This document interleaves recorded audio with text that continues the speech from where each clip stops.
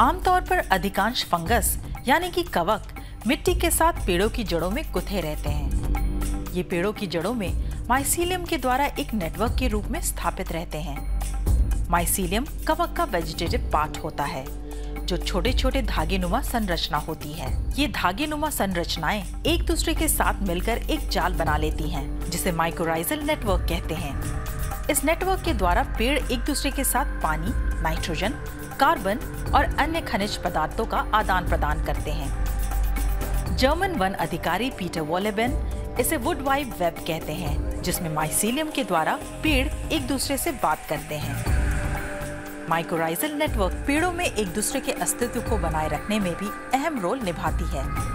उदाहरण के लिए, किसी छायादार जगह पर उगने वाले एक नन्हे पौधे तक जब ज़रूरी मात्रा में प्रकाश नहीं पहुँच पाता और उसकी पत्तियाँ प्रकाश संश्लेषण नहीं कर पाती तो ऐसे में ज़िंदा रहने के लिए नन्हा पौधा पुराने और लंबे वृक्षों से इसी माइक्रोराइजल नेटवर्क के द्वारा ज़रूरी खनिज पदार्थ प्राप्त करते हैं। इंग्लैंड यूनिवर्सिटी ऑफ़ रीडिंग द्वारा डगलस फर पेड़ों पर किए गए अध्ययन में एक रोचक बात सामने आई है, जिसके मुताबिक ये पेड़ अपने रिश्तेदारों यानी कि अपने जैसे दूसरे पेड़ों की जड़ों को पहचान लेते हैं और उन्हें फंगल नेटवर्क के माध्यम से कार्बन और खनिज पदार्थ भेजते रहते हैं। पारिस्थितिकी विज्ञानी सुजैन सिमर्ड ने अपने शोध में पाया कि पेड़ों में कवक नेटवर्किंग अपने कार्बन स्रोत को सुरक्षित रखने की आवश्यकता से प्रेरित होती है। कवक नेटवर्क माइसीलियम से जुड़े पेड़ों को स्वस्थ रखने और साथ ही साथ कवक की कार्बन आपूर्ति के लिए वितरक की तरह कार्य करती है। अपनी इस सेवा के बदले माइक्रोराइजल नेटवर्क 30 फ़ीसदी शर्करा प्राप्त करता है, जो कि एक दूसरे से जुड़े पेड़ प्रकाश संश्लेषण द्वारा बनाते हैं।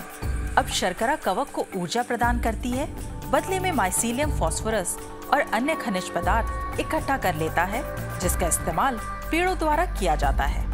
पेड़ और कवक कनेक्शन में हब ट्री सबसे महत्वपूर्ण होते हैं। इन्हें मदर ट्री कहा जाता है जो सबसे ज़्यादा अनुभवी पेड़ माने जाते हैं। आमतौर पर हब ट्री के पास सबसे ज़्यादा कवक कनेक्शन होता है। इनकी जड़ें मिट्टी में नीचे पानी तक पहुँचती हैं, जिसे ये नन्हे पौधों तक पहुंचाते हैं।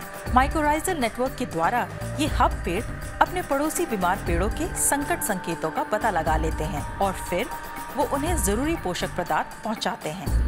इन निष्कर्षों से ये पता चलता है कि पेड़ों ने अपनी प्रजातियों के अस्तित्व को बचाए रखने के लिए जटिल सहजीवी संबंध विकसित कर लिया है। माइक्रोराइजल नेटवर्क इस संबंध का एक मुख्य हिस्सा है।